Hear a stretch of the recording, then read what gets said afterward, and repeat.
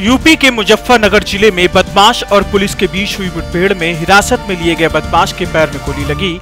वहीं दूसरी तरफ़ दो पुलिसकर्मी भी घायल हो गए। दरअसल, थाना बुढ़ाना कोतवाली क्षेत्र में उस समय मुठभेड़ हुई, जब हत्या में वांछित चल रहे बदमाश को आला कत्ल रिकवरी के लिए पुलिस मिंडकाली गाँव के जंगलों में लेकर पहुँची। इसी दौरान अचानक बदमाश ने सब इंस्पेक्टर की सरकारी पिस्टल छीनकर पुलिस पार्टी पर अंधाधुंध फायरिंग शुरू कर दी। इस फायरिंग में एक पुलिसकर्मी घायल हो गया और साथ ही सब इंस्पेक्टर बाल बाल बच गए।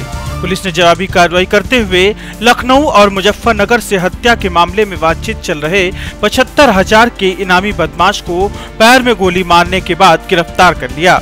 बदमाश के कब्जे से पुलिस ने एक पिस्टल और दो कारतूस भी बरामद किए हैं।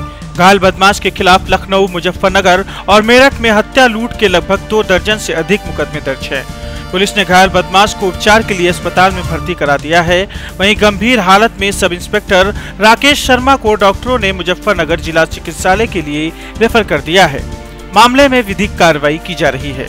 प्राप्त हमें कि हमारे हत्या का अभी अनिल खतौली मोड़ पे खड़ा है तो पुलिस वहाँ पर गए, पुलिस ने गिरफ़्तार किया।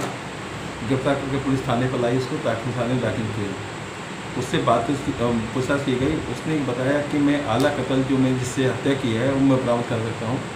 तो पुलिस लेकर के हमारी police team S H O साहब उनको लेके जा गए और लेने के बाद पिस्टल आला कतल बरामद किया। जैसे आला कतल बरामद के चले थे तो हमारे दरोगा जी आगे चल रहे थे सुरेंद्र सिंह। झटका लेकर के इसने अभी नहीं, उनकी पिस्टल छीन ली। मुजफ्फरनगर से जनमत न्यूज़ के लिए संजय कुमार की रिपोर्ट।